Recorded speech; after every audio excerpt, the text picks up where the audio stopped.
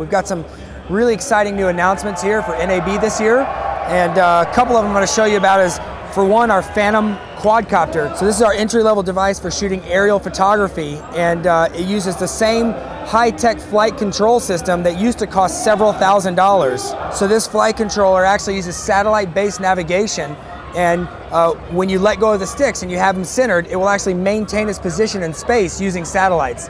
Also, if you were to uh, lose transmission for whatever reason, it will fly itself home and land itself right where it took off. It's got about a 300 meter range. So you can fly 300 meters away or 300 meters in the air.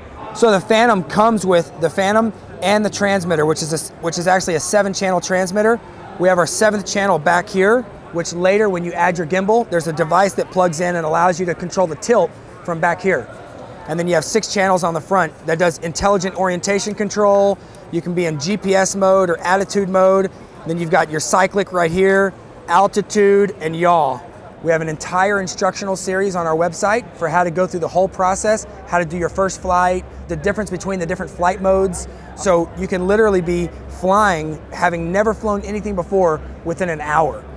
You can fly outside using satellites, so it makes it very, very easy to, to control it. It just goes where you tell it to go, and when you say stop, it just stops itself using satellite navigation. So uh, it's really easy for people who are thinking about wanting to get a big system for doing aerial photography someday. They can start with something like this and start getting some really, really nice stuff day one. For the, for the Phantom Craft, the transmitter, the battery, the charger, everything you need is 679 US dollars.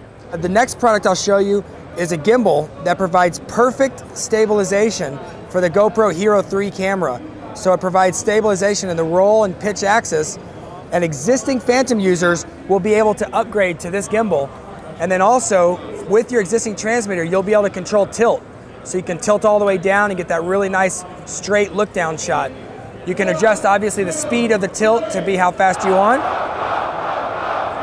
With our GoPro gimbal, we will actually do a composite video output. So uh, you, can you can connect any 5.8 gigahertz video downlink system to it and uh, get the video feed coming out of the camera so that you can frame up your shots. So you will be able to do downlink as well. It's driven off the same battery that flies your Phantom. And then our gimbal will actually also charge the GoPro while the GoPro's on it. The gimbal should be out in 30 to 60 days.